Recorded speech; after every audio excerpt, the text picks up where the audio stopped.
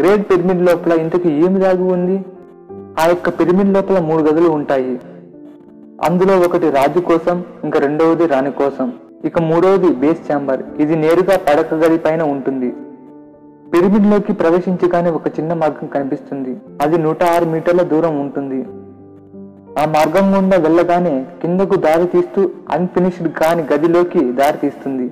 ఏటవాలుగా ఉన్న స్లోప్ నుంచి సుమారు ముప్పై మీటర్ల దూరం వెళితే గ్రాండ్ గ్యాలరీకి దారి తీసే స్లోప్ లాంటి మార్గం కనిపిస్తుంది. గ్రాండ్ గ్యాలరీ ప్రారంభంలోనే క్వీన్ చాంబర్ ఉంటుంది. ఆ యొక్క గ్రాండ్ గ్యాలరీ రాజు చాంబర్ పైకప్పున ఫైవ్ పాయింట్ నైన్ మీటర్ ఎత్తులో ఉంటుంది. ఉత్తరాన మరియు దక్షిణాన గోడలపై రెండు ఇరుకైన సందులు ఉంటాయి. ఆ యొక్క సందు ఎందుకు వేశారో వారి ఉద్దేశం ఏమిటో మనకు కరెక్ట్గా తెలియదు కానీ రాజు చాంబర్లో మిగిలి ఉన్న ఏకైక వస్తువు ఏమిటంటే అది సార్కోపాగస్ ఆ వస్తువు కూడా సగం ఇరిగిపోయినట్టుగా ఉంటుంది. రెక్టాంగులర్ లాగా ఉన్న ఈ సార్కోపగస్ గదికి దారితీసే మార్గం కంటే కొంచెం పెద్దగా ఉంటుంది.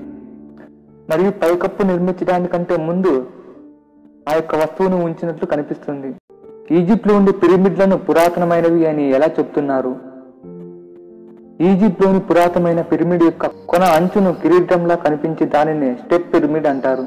అది నాలుగు వేల ఏడు వందల సంవత్సరాల క్రితం మూడో రాజవంశమైన ఫరో జోజార్ శ్మశాన వాటిక కోసం నిర్మించారు. క్రీస్తు పూర్వం రెండు వేల ఆరు వందల యాభై సంవత్సరంలో ఆ యొక్క పిరమిడ్ ప్రపంచంలోనే ఎత్తైన నిర్మాణం అని దానికి రికార్డ్ కలిగి ఉంది. మరియు నలభై సంవత్సరాల తర్వాత ఈజిప్ట్లో మీడియంగా ఉండే పిరమిడ్లను అధిగమించింది.